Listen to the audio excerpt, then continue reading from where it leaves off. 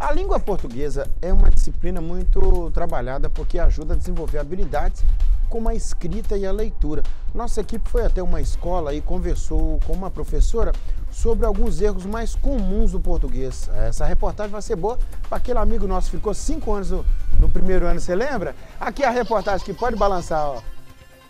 Na sala de aula, a professora de língua portuguesa esclarecia algumas palavras que deixam as pessoas em dúvida na hora de falar ou escrever. Estes alunos do oitavo ano estão aprendendo mais sobre a reforma ortográfica.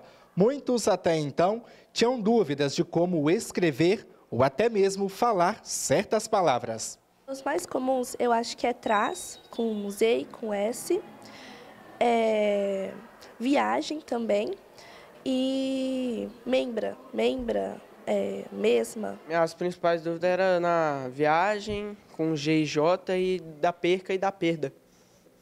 A partir de agora, vou escrever correto. Vou tentar.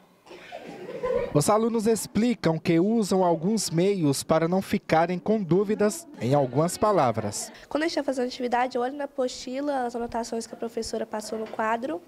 E quando eu estou escrevendo na internet mesmo, ou o corretor corrige, ou dá para pesquisar no Google também. Você vai viajar esse fim de semana? Provavelmente não. Então você não vai fazer nenhuma viagem? É. A concordância verbal é um dos erros mais praticados por muitas pessoas, explica a professora. É o uso dos verbos com os sujeitos, com as situações e os contextos é, errados. E, e vem também uma, um vício de criação. As pessoas convivem umas com as outras, acham que porque estão numa situação social simples, não precisam falar da moda, do modo correto ou aprender a forma correta. Então, a convivência enganosa da, da fala, cheia de vícios, gírias, isso gera também e ocasiona os erros.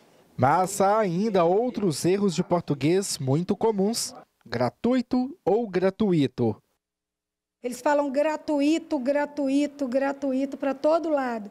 E não é gratuito não tem acento e a pronúncia é fechada e mais forte da sílaba do meio. Perda ou perca? É pela perda.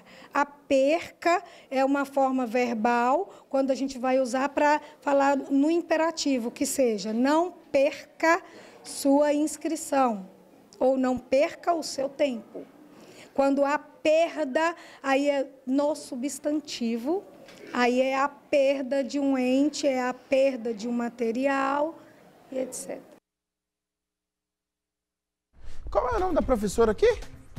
Ana Verônica. Aplausos para ela aí, por favor, todos nós. Sabe por quê? Essa muito digna foi professora do Bebiano, que hoje é meu diretor. Olha, olha que os, os alunos dessa professora têm futuro, né? Hã?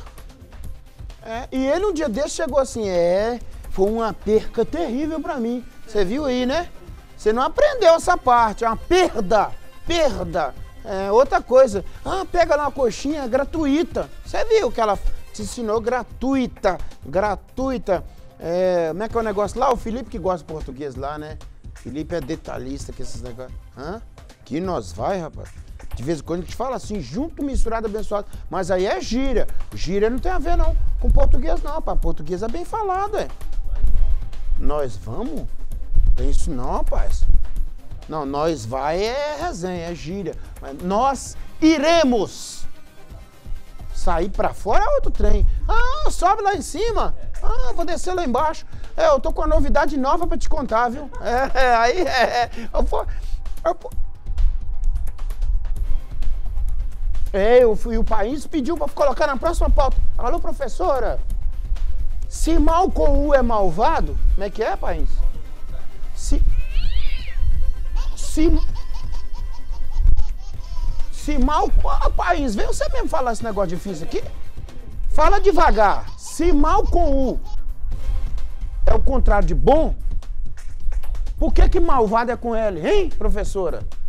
É ela que, não é ela que faz isso não, país. É alguém aí, a convenção do português é que define isso. Sabia? É.